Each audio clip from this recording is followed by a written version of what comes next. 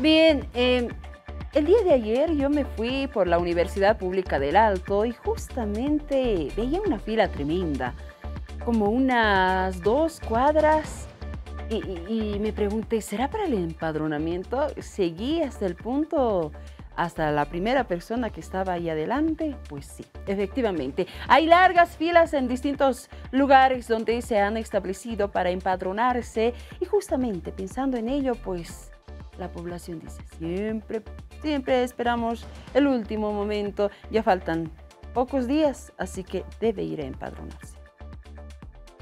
A pocos días a que finalice la fecha para el empadronamiento, se registraron largas filas en distintos puntos. Varias personas aseguran que se aproximaron para empadronarse por cambio de domicilio o por mayoría de edad. Sin embargo, estas están esperando de dos a tres horas. Las oficinas afirman que estarán atendiendo desde las 8 de la mañana hasta las 10 de la noche con media hora de receso para el almuerzo. Sí, qué hora estás haciendo fila? desde las 6. ¿Y está avanzando la fila, no? Eh, ¿Está más o menos.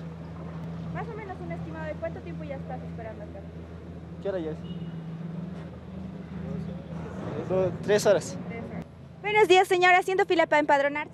Sí, señorita. Cambio de domicilio. Cambio de domicilio. Sí, ¿Desde qué hora está esperando la fila? a las 8.